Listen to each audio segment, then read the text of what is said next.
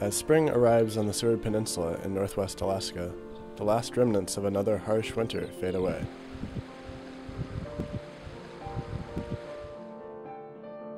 On the coast, sea ice is pushed north into the Chukchi Sea. Springtime brings a flurry of feathered visitors from all corners of the world. Over 160 species of shorebirds, seabirds, and songbirds travel to the Seward Peninsula each year to mate, nest, and breed during the short Arctic summer.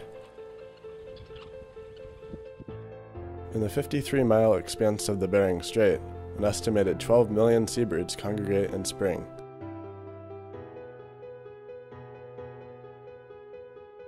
Scientists are still not sure why some birds, like the Arctic tern, migrate such extreme distances. This little bird has the longest migration of any animal on Earth. It travels over 44,000 miles each year, all the way from Antarctica to the Arctic Circle. The journey is long and arduous for all birds. Weather, predators, and lack of food are all obstacles which must be overcome.